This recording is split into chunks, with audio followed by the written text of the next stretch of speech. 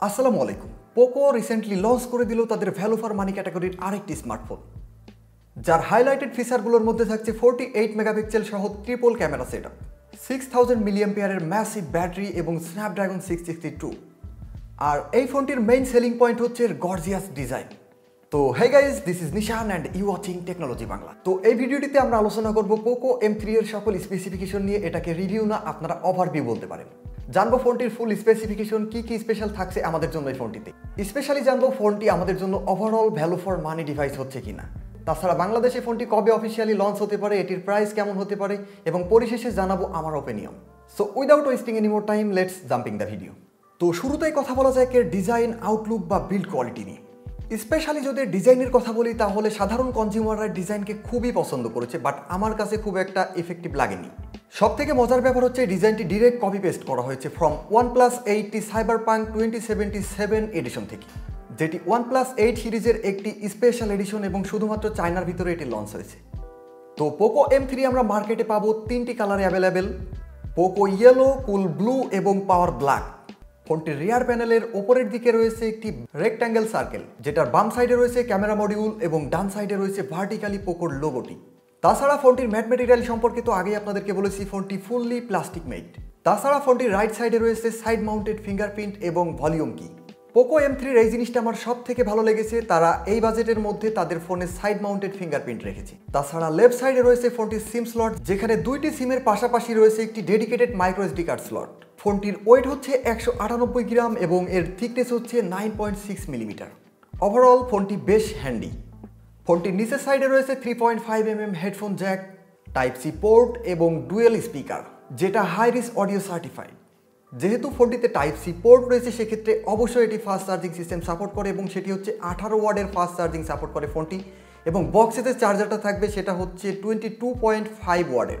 তাছাড়া ফোনটিতে ব্যাটারি ব্যবহার করা হয়েছে ছয় হাজার এমএএইচের যেটি ফোনটিকে আরও এক ধাপ এগিয়ে নিয়ে গেছে বেশি। দেন কথা বলা যাক ফোনটি ডিসপ্লে নিয়ে। ফোনটিতে আমরা সিক্স পয়েন্ট ফাইভ থ্রি ইঞ্চের ফুল এইচডি প্লাস একটি ডিসপ্লে পাবো এবং যেটি ড্রপ নস ডিসপ্লে এবং এই ডিসপ্লেটির রেজলিউশন হচ্ছে তেইশশো চব্বিশ বাই এক হাজার আশি পিক্সেল ডিসপ্লেটির এসপেক্ট রেশি হচ্ছে nineteen point five is to nine তাছাড়া এই ডিসপ্লেটির পিক্সেল ডেন্সিটি হচ্ছে three hundred and ninety five PPI এবং এই ডিসপ্লেটিকে প্রোটেক্ট করছে কর্নিং গরিলা গ্লাস থ্রি এখানে তারা ফাইভ দিলেও পারতো। এখন কথা বলা যাক ফোনটির ক্যামেরা সেকশন নিয়ে। ফোনটির রেয়ারে পাবো আমরা ট্রিপল ক্যামেরা সেট যার মেইন সেন্সর থাকবে ফোরটি এইট মেগাপিক্সেলের এবং যার অ্যাপাচার থাকবে F one point seven eight সাথে থাকবে একটি ম্যাক্রো ক্যামেরা যার অ্যাপাচার থাকবে এফ টু পয়েন্ট ফোর এবং আরও একটি ডেপ সেন্সর টু মেগাপিক্সেলের যেটিরও অ্যাপাচার থাকবে এফ টু পয়েন্ট ফোর এছাড়া এই ক্যামেরাতে আমরা অনেকগুলো ফিচার পাবো। এর মধ্যে ফটোগ্রাফির ফিচারের মধ্যে থাকছে document mode night mode Google lens portrait mode movie frame portrait mode এবং ব্যাকগ্রাউন্ড ব্লার অ্যাডজাস্টমেন্ট সিস্টেম তাছাড়া প্যানারোমা এবং র মোড তো থাকছেই। এবং ভিডিও ফিচারের মধ্যে থাকছে টাইম লেপস শর্ট ভিডিও এবং স্লো মোশন ভিডিও যেখান থেকে আমরা up to hundred and twenty FPS পর্যন্ত স্লোমো ভিডিও করতে পারব। এছাড়া নর্মালি আমরা full HD thirty frame per সেকেন্ডে ভিডিও করতে পারব। ফ্রন্টে থাকবে একটি সিঙ্গেল ক্যামেরা যেটি এইট মেগাপিক্সেলের এবং যার অ্যাপাচার হচ্ছে F two point zero five front ক্যামেরাতেও আমরা রিয়ার ক্যামেরার মতো প্রায় সব ধরনের ফিচারগুলোই পেয়ে যাব, তবে ফ্রন্ট ক্যামেরা দিয়ে কোনো স্লোমো ভিডিও করার অপশন থাকছে না। নাও দি মেইন পয়েন্টের হার্ডওয়্যার সেকশন পোকো এম থ্রিতে রয়েছে Qualcomm Snapdragon six sixty two প্রসেসরটি যেটা একটি অক্টাকোর প্রসেসর এবং এই প্রসেসরটি থেকে আমরা ম্যাক্সিমাম ক্লক স্পিড পাবো টু পয়েন্ট জিরো এবং এই প্রসেসরটি ইলেভেন ন্যানোমিটার আর্কিটেকচারে তৈরি। ফোনটি বাজারে দুইটা ভেরিয়েন্টে পাওয়া যাচ্ছে, চার চৌষট্টি এবং চার একশো আঠাশ। এই ফোনটির র্যাম হিসাবে ব্যবহার করা হয়েছে এলপি ডিডিআর ফোর এক্সের র্যামকে।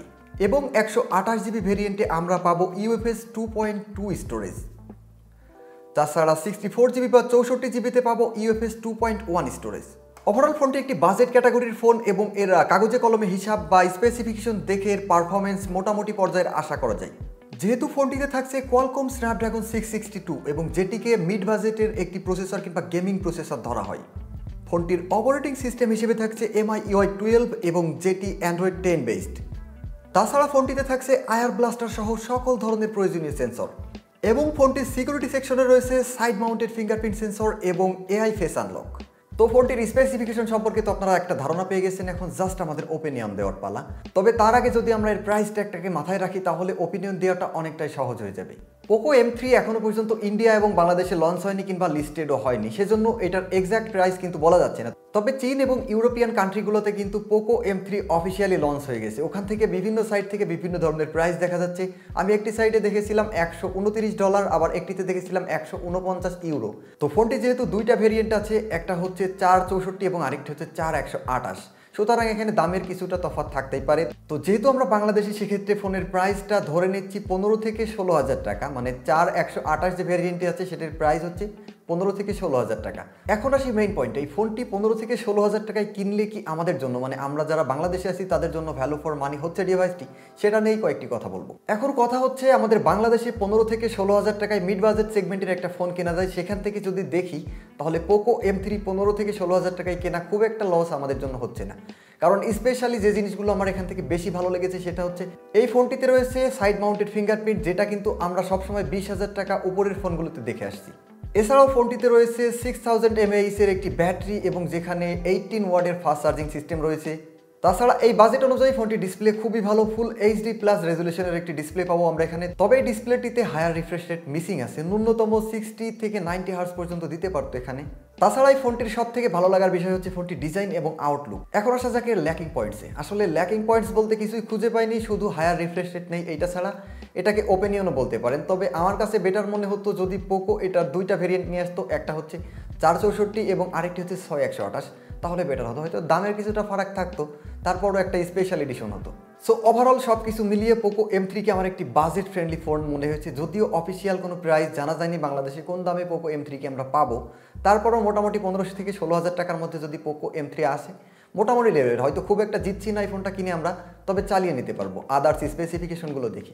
এখন আসি মেইন পয়েন্ট এই ফোনটি আমাদের বাংলাদেশ অথবা ইন্ডিয়াতে অফিসিয়ালি কবে লঞ্চ হবে? এ রিলেটেড অনেক কমেন্টস এসেছে আমাদের টেক নিউজে তবে কোনো ডেট কিন্তু পোকো থেকে জানানো হয়নি, কোনো লিক্সও আসেনি যে বাংলাদেশ এবং ইন্ডিয়াতে কবে অফিসিয়ালি তারা লঞ্চ করবে।